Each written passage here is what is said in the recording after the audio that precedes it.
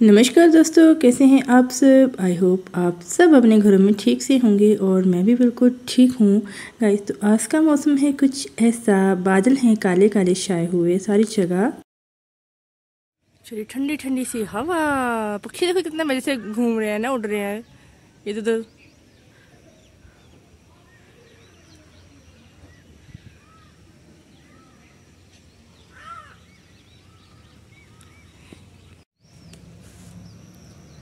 मौसम का जादू।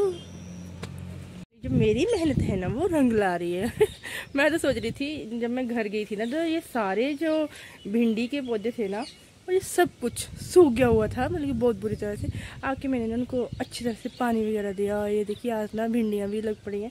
मतलब कि एक हफ़्ते तक ये भिंडी ना, कि बड़ी बड़ी हो जाएगी, खाने लायक हो जाएगी। बस।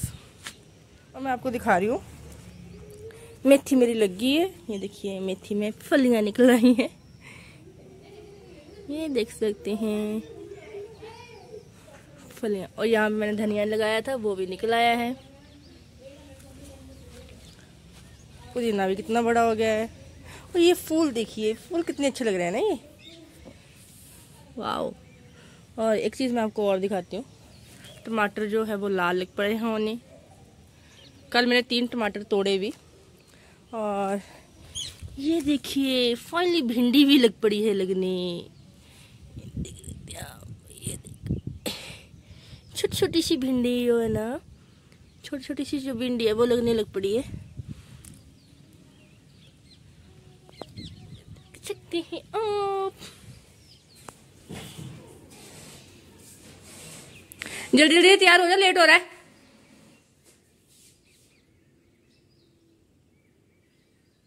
हाँ लेट हो रहा है, साढ़े आठ हो गया उग्गू भी आ गया?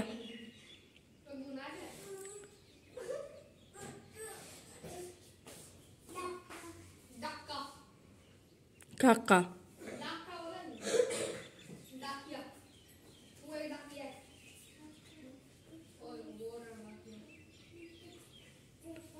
जल्दी जल्दी कर ले, हनु जल्दी जल्दी कर ले।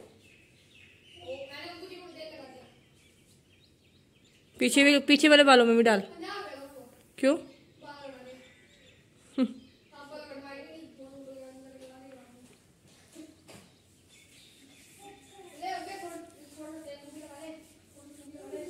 जल्दी कर ले, जल्दी। हम लेट हो रहा है। आज मौसम फिर से खराब हो गया। बारिश हो गया आज बारिश बताइए, फिर से मेरे को लगता आज बताई हुई है ना? जल्दी कर।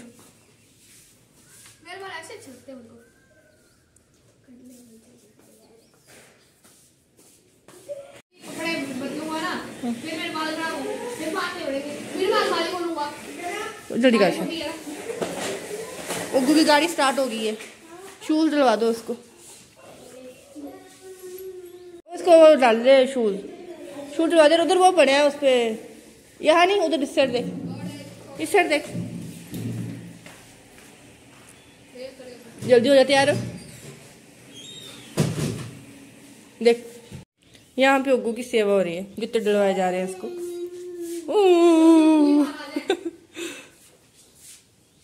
क्यों क्यों नहीं आएगा? आ जाएगा। डाल के दे। खाने डाल दे इसके साथ।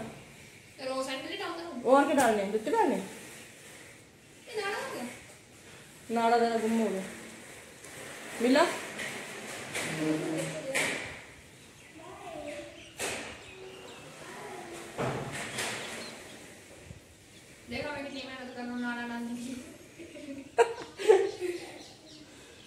नाड़े नाड़े को कस के बांधो नहीं जरा पामा खुल ना जाए। ठीक है अच्छा लग रहा है। वो डाल दे साथ में सैंडल डाल दे।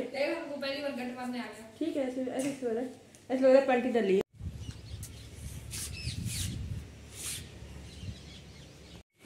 हानो तू फ़ोन देख रहा है?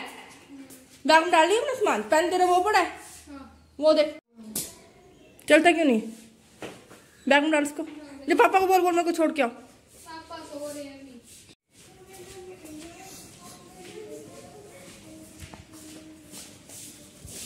हाँ पापा।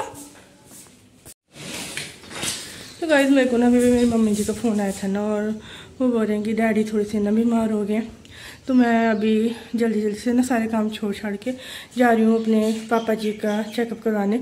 मैं सोच रही हूँ ना कि उनको हॉस्पिटल पठानकोट लेके जाऊँ, क्योंकि उनके ना मतलब कि सांस लेने में उनको थोड़ी सी दिक्कत है और मम्मी बोले थे कि थोड़ी ना मगर पापा जी क्या करते हैं कि अपनी मर्ज़ी से डॉक्टर बनते हैं और अपनी मर्ज़ी से मेडिसिन खाते रहते हैं।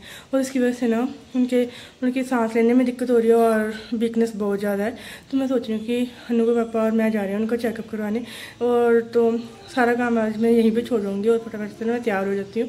क्योंकि मेरे को लेके जाना है, उनको मैंने फ़ोन कर दिया, उनको कि आप रेडी रहना, खाना वगैरह मत खाना और क्योंकि टेस्ट वगैरह लेने हैं। तो मैं जा रही हूँ अभी उनको चेकअप करवाने। तो गाइस मैं ना हो गई हूँ तैयार और मैंने बाहू को भी तैयार कर दिया और जाती बार हमने सोचा हनु को भी अकेडमी छोड़ देंगे। तो इसलिए हनु भी हमारे साथ ही जा रहा है और ये देखिए बाहू ने नाज क्या कर दिया, ये मेरे नाक पे ना नाखून लगा दिया, इतना बड़ा वाला। और बाहू को डाला बाकर में और ये देखिए, सारा कमरा जो है ना बिखरा पड़ा है। अभी मेरे को कुछ भी नहीं सूझ रहा है, अभी मैं जा रही हूँ सीधा उधर। ये सारा काम मैं आके करूँगी।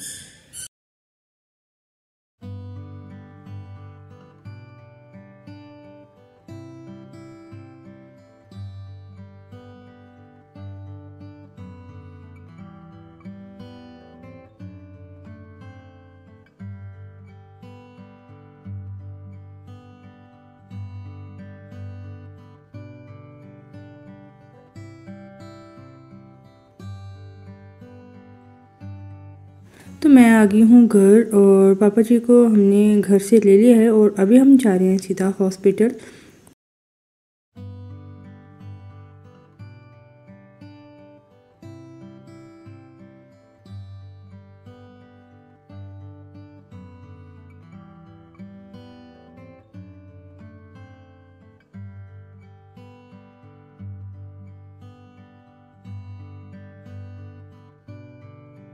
तो अभी हम पहुँच गए हैं हॉस्पिटल में। हॉस्पिटल में हम जल्दी ही आ गए थे, इसलिए हमारा नंबर जो है ना, वो जल्दी से आ गया था और दूसरी तरफ़ से ना मेरी सिस्टर भी आ गई थी और डॉक्टर से हमने सलाह वगैरह करी और डॉक्टर जी ने ना पापा जी के सारे टेस्ट वगैरह लिए इको करी पापा जी के। हार्ट में थोड़ी सी दिक्कत बताई है पापा जी ने और मेडिसिन वगैरह जो है ना, वो रिकमेंडेड करी है।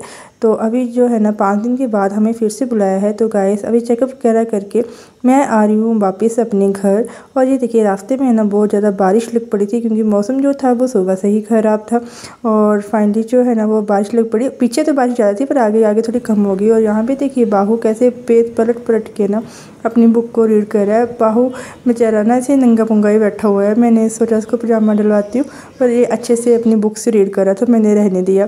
तो गाइस आज की वीडियो को करते हैं यहीं पे एंड अगर वीडियो पसंद आए हो तो लाइक शेयर ज़रूर करिए। सब्सक्राइब भी करें मेरे चैनल को। मैं मिलती हूँ आपको अपने नेक्स्ट ब्लॉग में, तब तक के लिए बाय बाय, टेक केयर।